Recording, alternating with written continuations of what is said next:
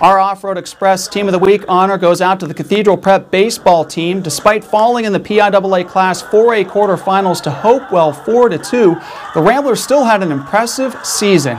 After claiming another District 10 championship by knocking off Meadville, the Orange and Black followed that up by eliminating defending state champion Montour in the first round of the state playoffs. While the quarterfinal loss stings, the Ramblers are proud of the things they did on and off the field.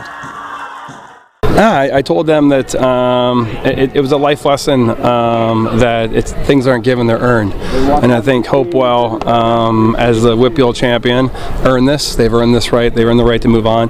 They played a very clean game. They executed. Um, the guy made pitches when he had to. And then the next thing I said was uh, one game isn't going to decide this team, this season, or our program. Um, the team of 2023 battled hard. They fought, and um, they left a really good mark on the program program. Um, we accomplished a lot of great wins and successes.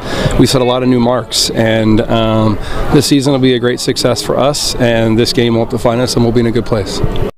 Team of the Week is brought to you by Superstore Joe at Off Road Express. Nominate your team on the contest page at yourerie.com. Get out and play.